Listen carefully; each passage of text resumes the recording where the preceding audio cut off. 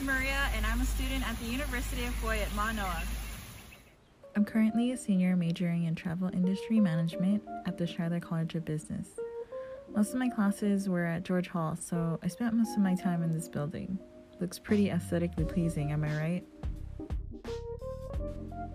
I chose to major in travel industry management for two reasons. I really enjoy working with various types of people, and simply put, I love to travel. Visiting other destinations is so much fun, and my major has brought me so many opportunities to explore the world.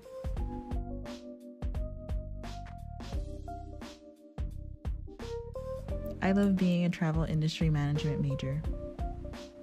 Aside from majoring in TIM, I really enjoy Korean culture. I love eating Korean food, watching Korean dramas, listening to Korean music, and I have actually visited Korea multiple times during my college career. This right here is our Center for Korean Studies, and I took some of my classes in this beautiful building. I studied Korean language for two years, and I'm definitely not the best at it, but the classes were great. UH Manoa has great language programs if you're interested, and there's many opportunities to study abroad. Fun fact, I actually spent majority of my time at Hamilton Library these past 4 years as an undergrad. However, I didn't really study, I just worked at the front desk part-time. UH Manoa has a career center that helps students get jobs on campus and also prepares students for careers after graduation.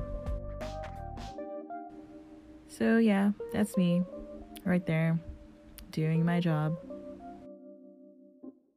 Another fun fact I spent my first two years of undergrad as a member of the UH Manoa Marching Band.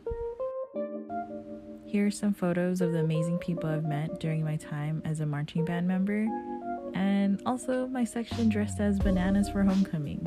Fun. So, yeah, that's pretty much about me. Thanks for watching. See you in the next video.